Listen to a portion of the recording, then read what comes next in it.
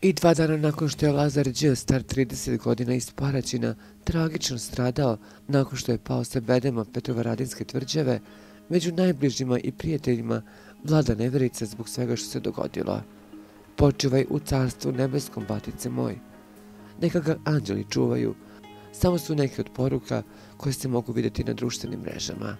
Podsjetimo, Lazar Đ izgubio život padom sa bedema Novosadske Petrovaradinske tvrđave, dok je njegov prijatelj Stefan zadobio teške telesne povrede.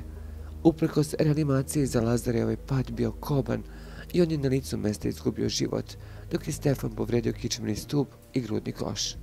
Podsjetimo, tokom dosadašnje istrage je utvrđeno da je bilo organizovano momačko veče.